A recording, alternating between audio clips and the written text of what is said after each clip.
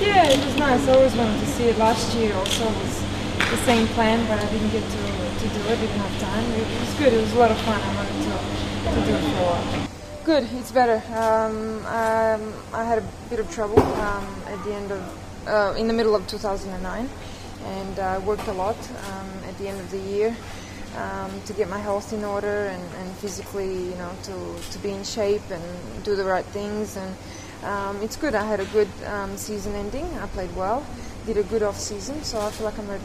Yeah, I was out for three months uh, around June, um, so I had to work very hard when I came back, and it was not easy because I was really my health, uh, you know, was not was not good. I didn't do anything at all for three months, so I really had to do a lot of work. But um, you know, I did the work, and and uh, U.S. Open was not easy for me. Uh, it was my first tournament in, in you know four months in the Grand Slam, so it was not easy to play there. But I needed to do it. I needed to get um, you know that match, no matter what happens. And uh, end of the year was good. Did, we did a lot of work physically, and, and I did a lot of work uh, on the court. Um, had a lot of matches, won a lot of matches. So I feel like um, you know I'm on the right track. Healthy. I would like to play the full year um, without any you know, health problems, without any injuries at all.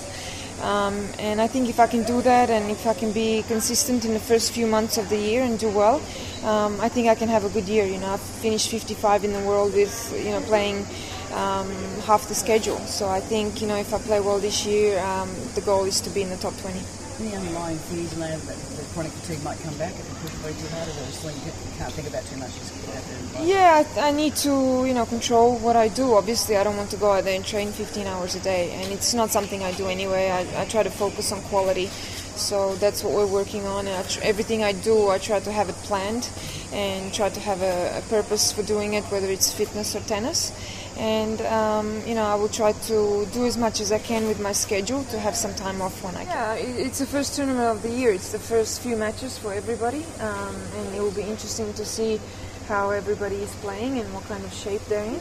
But um, it will be good. I have two two events leading up to the Australian Open. I'm in main draw of both of them, and um, you know, again, you can draw anybody here. Also, it's a tough field, and um, with some players coming back. But um, you know, I would like to I would like to play well in my first match, see how I can do, and maybe get a get a win in the first one.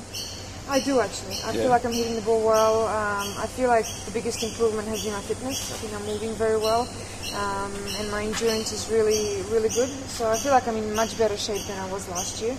And uh, like I said, hopefully if I don't get injured and my health is good, I can have a good year.